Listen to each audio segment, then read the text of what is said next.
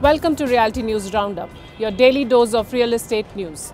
Here are the top headlines for today. Taking strong action against 11 errant developers, the Noida Authority has fined each one of them for rupees 50,000. These developers were found to be violating construction norms of the National Green Tribunal.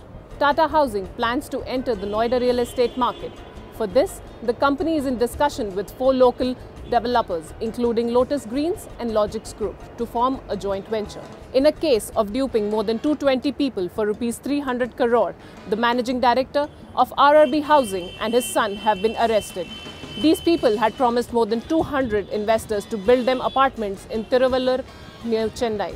With an aim to boost its sales, reality firm SARE Homes has said that it would offer a 10% guaranteed annual return till possession relating to its two housing projects in Gurgaon and Chennai each. Thank you for watching today's Realty News Roundup. For latest updates, stay tuned to our social media handles on Facebook, Twitter, YouTube and Instagram.